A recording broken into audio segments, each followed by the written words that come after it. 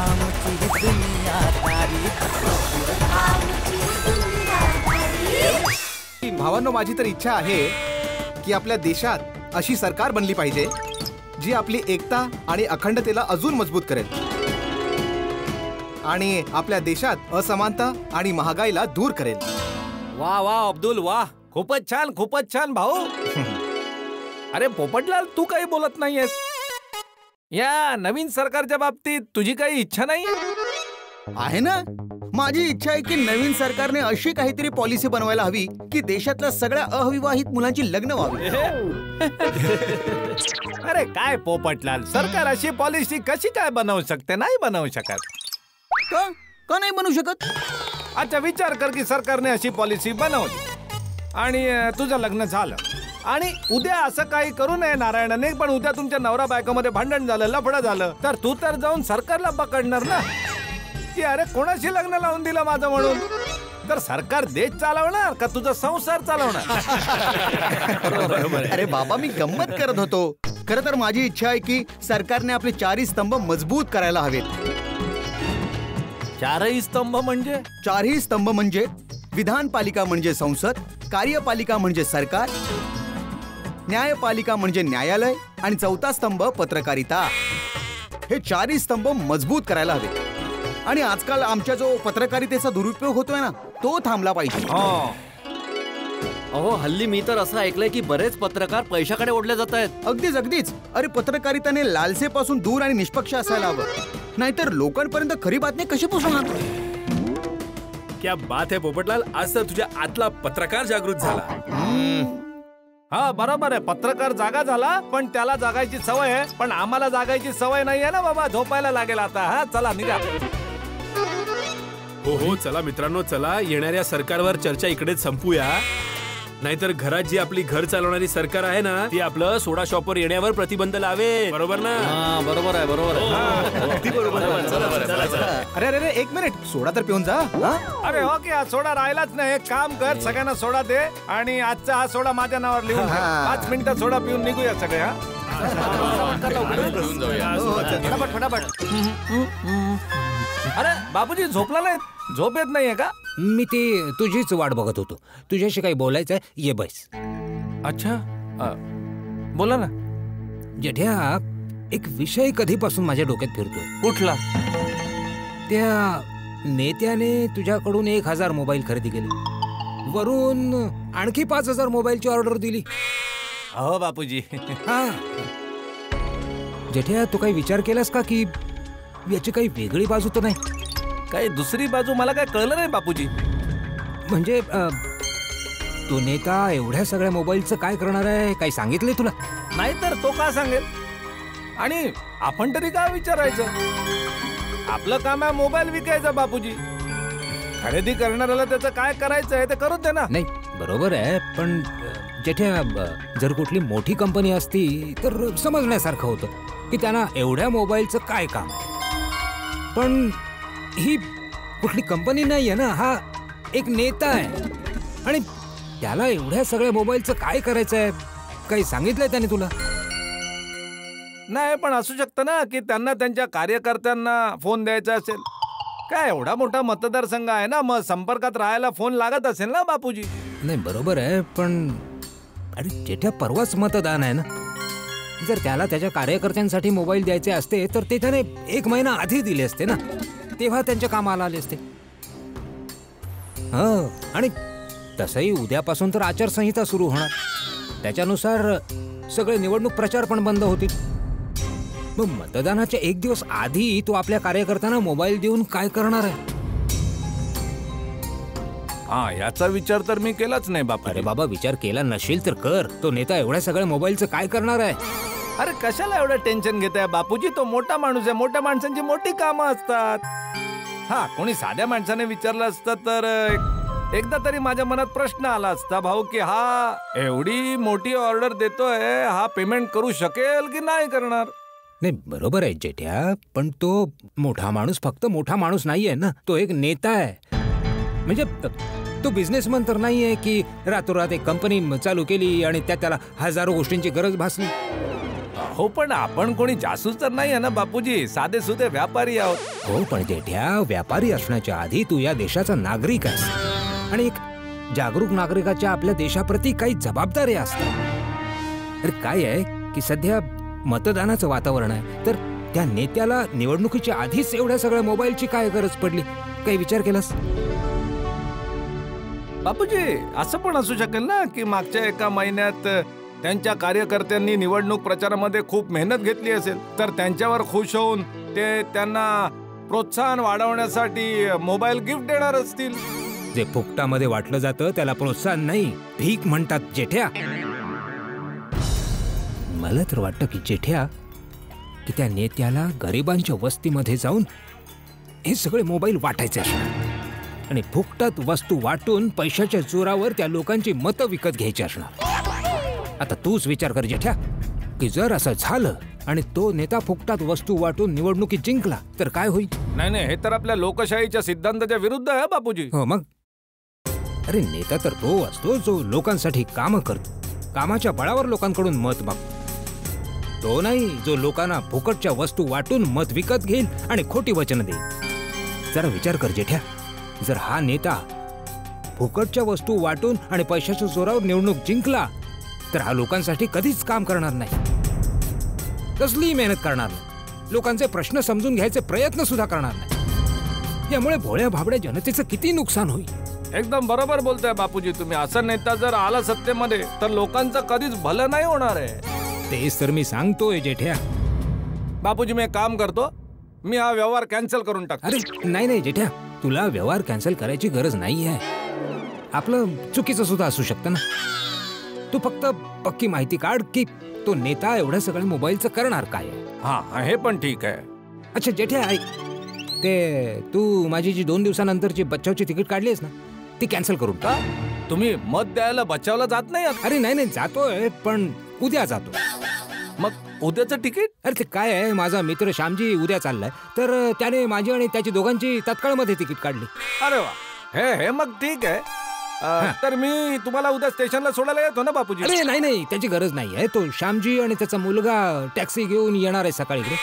तो, त्याच्यासोबत जाऊ आम्ही. श्यामजीचा मुलगा आहे ना तो सांभाळेल सगळं. सांभाळेल. ठीक आहे ठीक. अच्छा जेठ्या जाण्यापूर्वी मी एवढाच फक्त सल्ला देईन की जे काही करशील ना ते विचार करून कर. नक्कीच बापूजी नक्की नक्की. शबाश जेठ्या. थँक्यू बापूजी. हा. जा आता जाऊन शांतपणे झोप जा. तुम्ही मी पण चाललो झोपा हा, हा झोप तू जय जिनेंद्र बापूजी जय जय बापूजींचं म्हणणं बरोबर आहे. पण तो सेवकलाल काही चुकीचं करत असेल तर मला कळणार कसं? मी तर सामान्य नागरिक आहे आणि तो शक्तिशाली नेता. नाही नाही नाही. असा विचार करणं चुकीचं आहे. सामान्य नागरिकने ठरवलं तर बरंच काही करू शकतो. विचार कर जेठालाल विचार कर. माहिती काढायलाच लागेल की तो मोबाईलचं काय करतोय ते. परेश भाईला विचारून बघू. त्याच्या पेमेंटची जिम्मेदारी त्यांनी घेतली आहे म्हणजे त्यांना नक्कीच माहिती असेल. हा बोला बोला जेठा भाऊ. अरे परेश भाई एक गोष्ट विचारायची होती तुम्हाला. हा बोला ना. त्या सेवकलालजींनी माझ्याकडून हजार मोबाईल तर घेतले पण जाता जाता अजून पाच हजार मोबाईलची ऑर्डर देऊन गेले. तर एकूण सहा हजार मोबाईल त्यांना हवे आहेत. तर ही गोष्ट तुम्हाला माहिती आहे ना? हो हो माहितीये ना. तुम्हाला पूर्ण सहा हजार मोबाईलचं पेमेंट मिळून जाईल. नाही नाही नाही पेमेंटचा प्रश्न नाहीये. ते तर तुम्ही सांगितलं तिथंच विषय संपला. अरे मी तर आपलं म्हटलं तुमच्याकडनं एकदा कन्फर्म करून घेऊ. नाही नंतर कळायचं की बोलणं फक्त हजार मोबाईलच झालं होतं. हे पाच हजार मोबाईल अजून कुठून आले? म्हणून मी म्हटलं तुम्हाला एकदा विचारून घ्यावं. नाही नाही मी समजू शकतो ना. तुम्ही टेन्शन घेऊ नका. अरे थँक्यू थँक्यू परेश भाई अच्छा परेश भाई एक अजून गोष्ट विचारू शकतो का मी तुम्हाला? हा हा विचारा. तुम्हाला काय वाटतं हे सेवकलालजी सहा हजार मोबाईलचं काय करणार आहेत? अरे हे नेता लोक कधी कोणाला सांगतात का? जितकं तुम्हाला सांगितलं तितकं मला सांगितलं. हे, तसं पण आपलं काम पण नाहीये ना विचारणं. एक वेळ गिरेक आपल्या दुकानातून माल घेऊन गेला की काय करायचं ते करू दे. ते काय एवढी मोठी ऑर्डर आहे ना? सहा हजार मोबाईल तर मनात जरा उत्सुकता निर्माण झाली. म्हणून मी विचार केला की तुम्हाला माहीत असेल तर विचारा हा सॉरी हा. अरे नाही नाही. अरे त्याच्यात सॉरी काय जेठा भाऊ ओके चला. ओके गुड नाईट कळत नाहीये परेश भाईंना खरंच माहीत नाहीये की माहिती आहे पण माझ्यापासून लपवत आहे. ठीक आहे जे काही असेल ते मी काही करून माहिती करून राहीन की त्या मोबाईलचं काय होणार आहे. जर सेवकलाल खरंच काही चुकीचं काम करत असेल तर मी जेठालाल चंपकलाल गडा त्याला थांबवणार. मी भोळ्या भाबड्या जनतेला मोबाईलच्या मोहाच्या बदल्यात त्याला मत विकत घेऊ देणार नाही. पण कसं थांबवू? मेहता साहेब उद्या सकाळ होताच मेहता साहेबांना भेटतो आणि या समस्येमध्ये काय करू शकतो या बाबतीत सल्ला घेतो.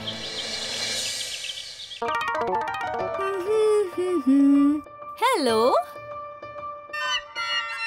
हे स्वीट हार्ट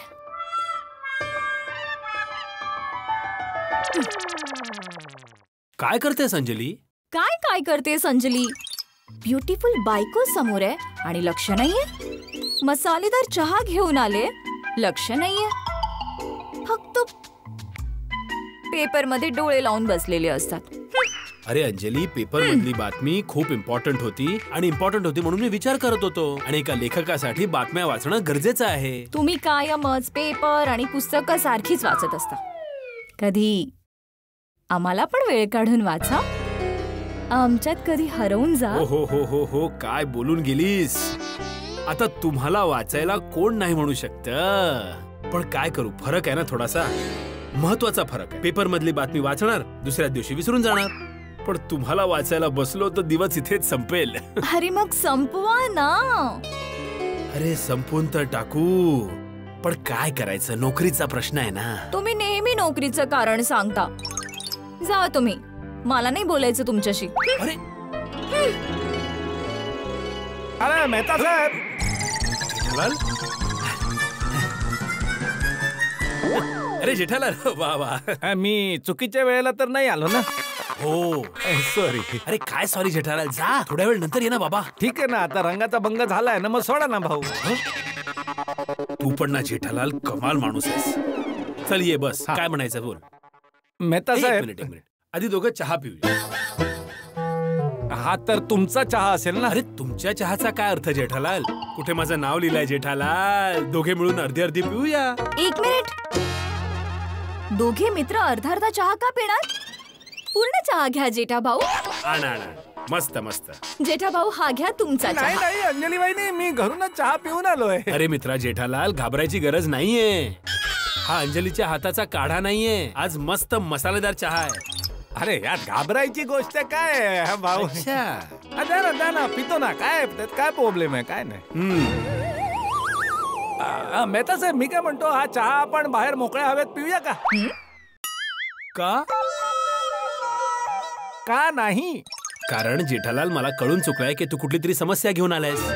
तर जसे आपण बाहेर जाणार तू म्हणशील चला चला मेहता साहेब खूप मोठा प्रॉब्लेम झालाय आपण पटकन जाऊया. आणि आज मला ऑफिस जावंच लागेल मी नाही येऊ शकणार. अरे भाऊ काही मोठी समस्या नाहीये. छोट्या गोष्टीसाठी तुमचा सल्ला घ्यायचा आहे. मग इथे घे.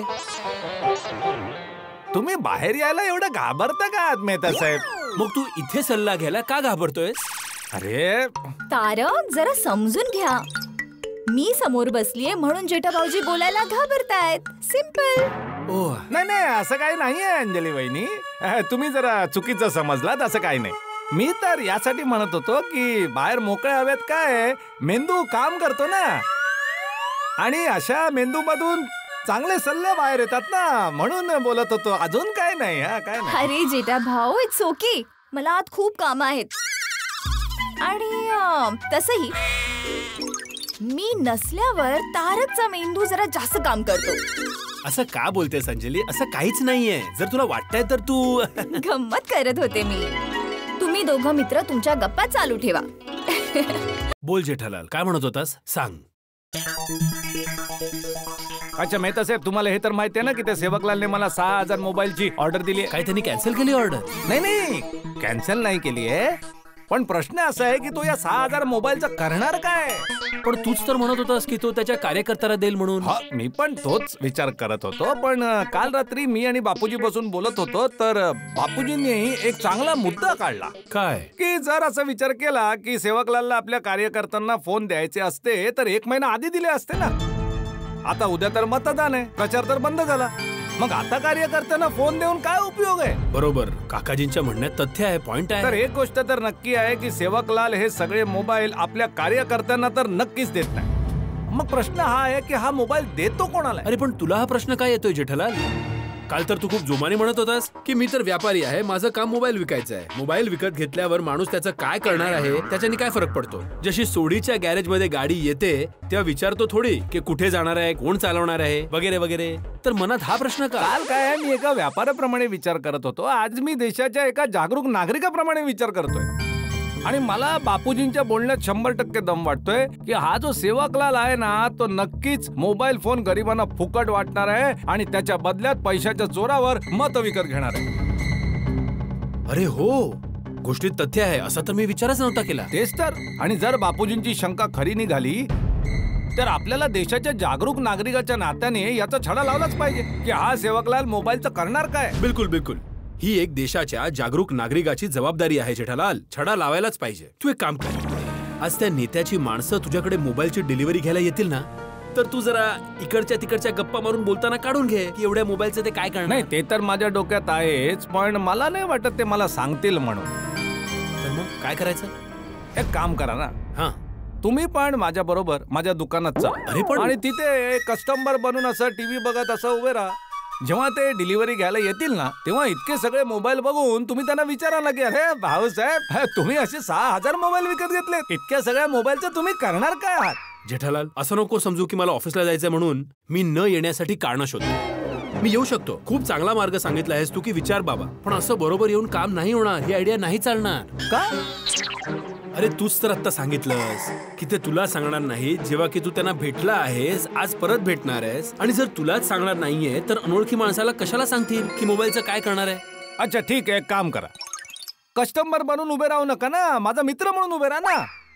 आणि मित- मित्र बनून विचारा. जेठालाल ही तर अजूनच गडबड होऊन जाईल ना. मित्र म्हणून आलो तर काम अजूनच गडबड होईल. कशी? आता ते तुला विचारतील हे साहेब कोण आहेत?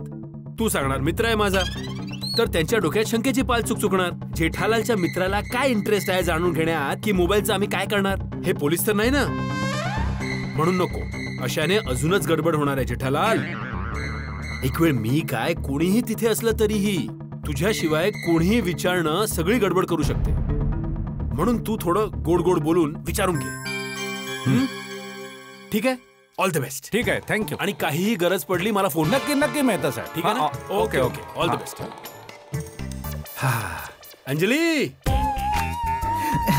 नट्टू काका नट्टू काका आजचा दिवस सोन्यासारखा वाटतोय सकाळपासून किती उत्साह आनंद आहे ना हा? येस बागा I am also too happy hmm. बघा हं? शेटजी आले ओहो शेठजी या या या आले पण हे काय? दुकानाला एवढं सजवलं काय? आपल्या गडा इलेक्ट्रॉनिक्सला एवढी मोठी ऑर्डर मिळाली आहे त्याच आनंदात हे आपलं दुकान सजवलं आहे. झक्कास ना? हा त्या ऑर्डरच्या बाबतीतच मला तुम्हा दोघांशी काहीतरी बोलायचंय. शेठजी तुम्ही बिलकुल काळजी करू नका. डिलिव्हरी साठी गोडाऊन मध्ये माल रेडी आहे. आणि डिलिव्हरी करायला आम्ही पण रेडी आहोत. आणि पेमेंटसाठी बँक अकाउंट पण रेडी आहे. आणि फायद्याचे पैसे मोजायला तुम्ही पण रेडी आहात. आणि तुमच्याकडून मोठी पार्टी घ्यायला आम्ही पण रेडी आहोत. म्हणजे पूर्ण वातावरणात सगळीकडे रेडी रेडी रेडी आहे. शेठजी मोठे थोर सांगून गेलेत. अहो जेव्हा तो द्यायला लागतो ना तर छप्पर फाडून देतो. बाकी तर ज्याची त्याची विचारसरणी. अरे एक मिनिट बाबांनो ब्रेक मारा जरा आपल्या उत्साहाला ब्रेक मारा. मला तुम्हा दोघांशी काहीतरी वेगळं बोलायचं आहे. काय बोलायचं आमच्या बरोबर शेठजी? ते मी इथे नाही बोलू शकत तुम्ही दोघं गोडाऊन मध्ये या. मी गोडाऊन मध्ये जाऊन मगनला इकडे पाठवतो. थोडा वेळ त्याला इथे थांबवून तुम्ही दोघे पण गोडाऊन मध्ये या ठीक आहे? काय वाटतंय बागा? काय बोलायचं असेल त्यांना? काय माहित नाही नट्टू काका. हे शेठजी पण ना कधी कधी खूप मोठा सस्पेन्स निर्माण करतात. शेटजी तुमची वाट बघतायत गोडाऊन मध्ये हो हो जातोय. तुम्ही दुकान सांभाळा. हा. चला नट्टू काका चला.